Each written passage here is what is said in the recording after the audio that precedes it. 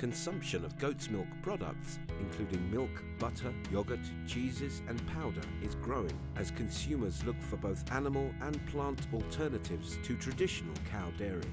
Meeting this demand requires female goats, nannies, for milking, and until recently, with the exception of a few stud males for breeding, billy goats were surplus to requirement. Interestingly, goat meat is the most widely consumed meat on a global scale, but not in the UK. This is changing as interest and awareness of goat's meat grows in the UK, giving billy goats a purpose. The majority of billy goats born on Delamere dairy farms are now reared and sold for meat. Cabrito is an award-winning goat meat business which Delamere co-owns, supplying mild, lean and tender goat meat to families around the UK and high-end restaurants nationwide.